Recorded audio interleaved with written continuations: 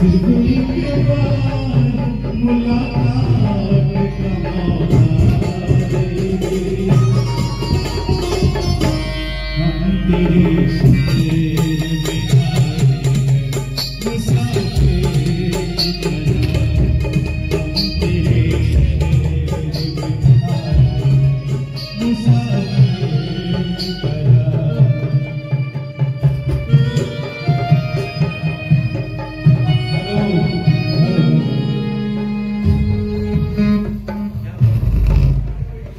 वीरेंद्र भैया से चाहूँगा आप दो चार शब्द रखें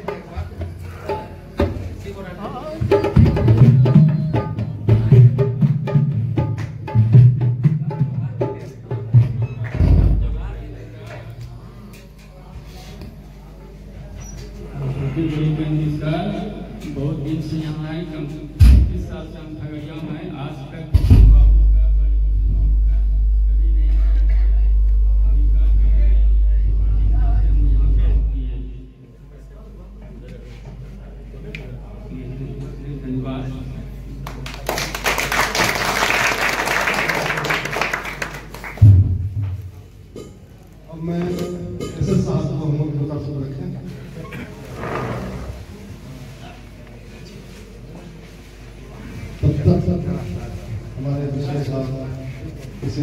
सम्मान करेंगे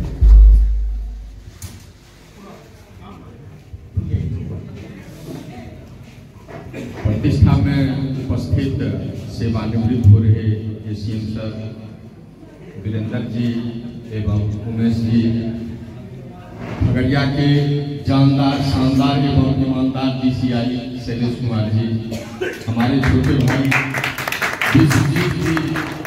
हमारे पुराने मित्र के पी बाबू एवं मुख्य अतिथि महेंद्र जी महेंद्र जी को मैं नहीं भूल सकता। बहुत दिन से उसका सानिध्य मिला, बहुत दिन से उसका प्रेम मिला। और आज के इस दिवस की जो मुख्य खासियत है, विदाई समारोह। आप जितने भी हमारे मित्र, सहकर्मी, रेलकर्मी हैं, मैं उनको इस बात से आश्वस्त करना चाहता हूँ कि इतना सम्मानजनक विदाई समारोह साधारण आदमी का नहीं हुआ करता। विदाई समारोह का आयोजन किया जाना इस बात का द्योतक होता है कि जो कर्मचारी आज विदा हो रहे हैं, उनकी कर्तव्य निष्ठा अपने कार्य स्थल पर इतना महत्वपूर्ण रहा कि सभी उससे खुश रहे। अन्यथा इस तरह के विदाई समारोह देखने को मिलते हैं? एशियन साहब का कर्म भूमि इतना लंबा चौड़ा, सोनपुर मुख्यालय, परंतु खगड़िया में विदाई समारोह का आयोजन इस बात का द्योतक है कि इनकी लोकप्रियता सोनपुर से कटिहार तक और हमारा जो ब्रांच लाइन है सासुर पटोरी सब जगह समान रूप से रहा। मैं सारे लोगों को हृदय से धन्यवाद देता हूँ। लोग महादेव को कहते हैं Surendra thank you thank you sir हमरे विदाई, हम सबको रेल से विदा कर रहे हैं। वीरेंद्र जी, बड़े ही मृदुभाषी एवं आज्ञाकारी कर्मचारी थे। हमसे इनका बहुत अच्छा लगाव था। बड़ा सम्मान देते थे। जब कभी हम मिल जाते थे हाथ जोड़ के खड़े होते थे हम इनके हाथ को पकड़ लेते थे भाई हमसे उनके बात बहुत बड़े हैं, भले कुर्सी मेरा बड़ा है। कोई कुर्सी बड़ा या छोटा नहीं हुआ करता है। एक एक मशीन का हर पुर्जा यदि ठीक से कार्य नहीं करे तो मशीन मशीन ठीक रूप से चल नहीं सकता। खगड़िया की अभी ऐसी स्थिति है कि हमको जितना ऑपरेटिंग से सहयोग मिलना चाहिए, नहीं मिलता है, उससे अधिक कमर्शियल से सपोर्ट मिलता है।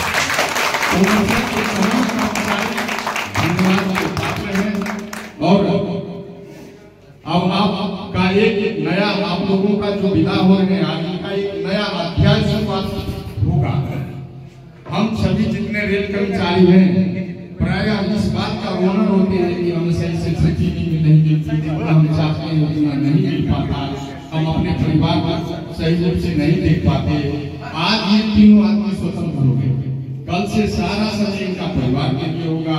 अपना एक नियमित ज़िंदगी जिए, जिएँगे। और मैं भगवान से प्रार्थना करूँगा कि तीनों आदमी को लंबी उम्र दे। आप अपने समाज में जाइए, समाज से मिलिए, उनके साथ एक नए अध्याय का शुरुआत कीजिए।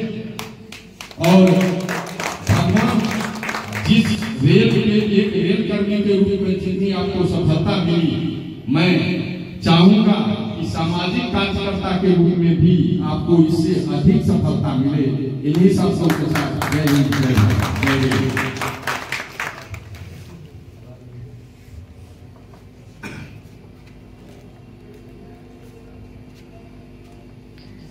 परम प्रिय हमारे सोनपुर मंडल के खगड़िया खंड के सभी पर्यवेक्षक एवं कर्मचारीगण संवैधानिक विधि के तहत मैं इकतीस जनवरी को सेवा सेवानिवृत्ति ले लूँगा। मैं सेवा सेवानिवृत्त हो जाऊँगा।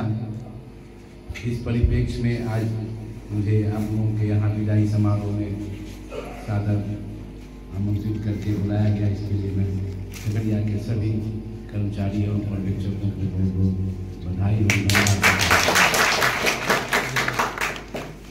आ, ये तो परंपरा है कि संवैधानिक विधि के अनुसार एक दिन आज हम जा रहे हैं, कल आपको जाना है, परसों किसी और को जाना है।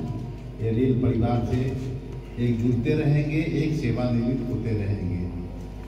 लेकिन इसमें सबसे बड़ी महत्ता ये दी जाती है कि जितने दिनों के लिए आप रेल से जुड़े रहते हैं, कर्तव्यपरायणता के साथ आप यात्री की सेवा और देश की सेवा, दोनों का अवसर आपको मिलता है।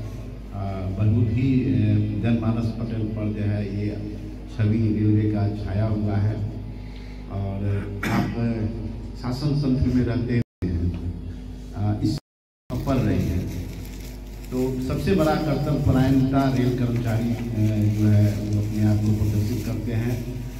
और मैं तो यही कहूँगा कि हमारे यहाँ एक उदाहरण है लोगों में कि ड्राइवर या गार्ड जो है तब तक गाड़ी को नहीं छोड़ता है, जब तक कि उसका कार्य का लोकेशन जहाँ पर रूट चेंज होता है, आखिरी समय तक चाहे वो भी रहे, कोशिश करता है कि वहाँ तक हम ले जाए। उसके बाद ही उतरता है। क्यों? उतरता है बिना गुरु का वो छोड़ता नहीं तो मैंने भी अपने इस रेल कार्ड का जो दायित्व था वो अंतिम क्षण तक कार्य करते हुए आज अंतिम पल खगड़िया तक यहाँ तक आए हैं। और दो दिन और बचा है रेल की सेवा में मैं आप लोग के बीच रहते हुए अभी भी कार्य कर रहा हूँ। इकतीस को मैं अपना आ, दूसरी पाली को आरंभ करूँगा। मैं आपको एक बात बता दूँ। बहुत अर्ली एज में मैं रेल में आया था।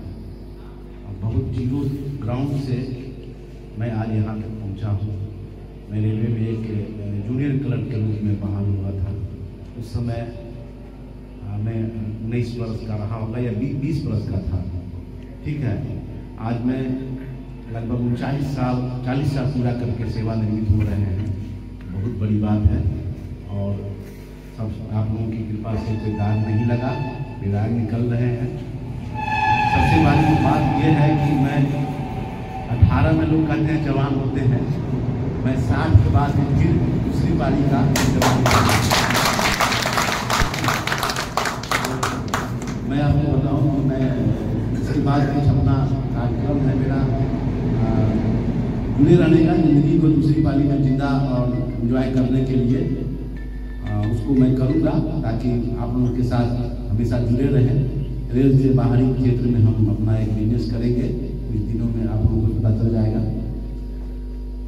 और मैं यही कहूँगा कि आप लोग भी जो है अपने कर्ता परायणता के साथ सेवा करें रेल का। साथ साथ कभी काम को आप काम नहीं समझें, उसको एंजॉय करते हुए करें। काम को, काम समझिएगा तो बोझ लगेगा।